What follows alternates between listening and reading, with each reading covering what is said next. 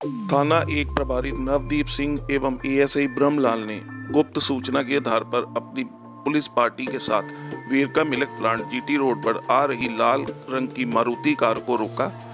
जिसका number P be zero आठ तिरपन सैंतालीस है, जो जाली नंबर लगाकर जितेंद्र कुमार वासी किशनपुरा को 14 पेटी अवैध शराब सहित पकड़ा, जिस पर एक्साइज एक्ट के तहत मुकदमा थाना एक में दर्ज कर आगे की कार्रवाई की जा रही है। रिपोर्टर एवं कैमरामैन सनी कुमार की जालंधर से रिपोर्ट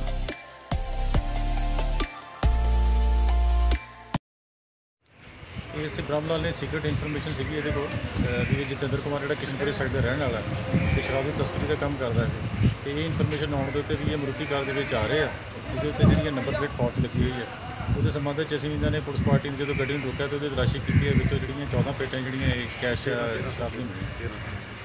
14 ਪੇਟੀਆਂ ਜਿਹੜੀਆਂ ਕੈਸ਼ ਸ਼ਰਾਬ ਦੀਆਂ ਮਿਲੀਆਂ ਹੈ ਤੇ ਉਹਦੇ ਸੰਬੰਧ ਦੇ ਵਿੱਚ ਜਿਹੜਾ ਆ ਅਸੀਂ ਉਹਨੂੰ ਅਰੈਸਟ ਕਰ ਲਿਆ ਮੁਕੱਦਮਾ ਦਰਜ ਕਰਕੇ ਅਸੀਂ ਇਹ ਇਨਵੈਸਟੀਗੇਸ਼ਨ ਕਰ ਰਹੇ ਫਰਦਰ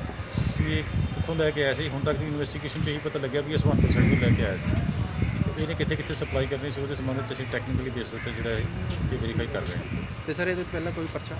ਇਹਦੇ ਬਾਰੇ ਵੀ ਇਨਵੈਸਟੀਗੇਸ਼ਨ ਚੱਲ ਰਹੀ ਹੈ। ਤੇ ਤੇ ਸਰ ਇਹ- ਜਿਹੜਾ ਇਹਨੇ ਇਹ ਤਾਂ ਕਹਿੰਦਾ ਵੀ ਸਰ ਨਹੀਂ ਤੇ ਕੋਈ ਐਫ ਆਈ ਆਰ ਰਜਿਸਟਰਡ ਨਹੀਂ ਹੈਗੀ ਬਟ ਅਸੀਂ ਇਹਦੇ ਜਿਹੜੇ ਆ ਲੋਕਲ ਪੁਲਿਸ ਸਟੇਸ਼ਨ ਆ ਜਿਹੜਾ ਇਹਦੇ ਉੱਤੇ ਕਨਫਰਮ ਕਰਾਂਗੇ। ਤੇ ਸਰ, ਇਹਦੇ ਨਾਲ ਹੋਰ ਵੀ ਕੋਈ ਮੈਂ- ਸੀਗਾ ਹਾਲੇ ਮੈਂ ਦੱਸ ਪਹਿਲਾਂ ਦੱਸਿਆ ਵੀ ਟੈਕਨੀਕਲੀ ਅਸਿਸਟੈਂਸ ਦੇ ਬੇਸ ਉੱਤੇ ਅਸੀਂ ਇਹ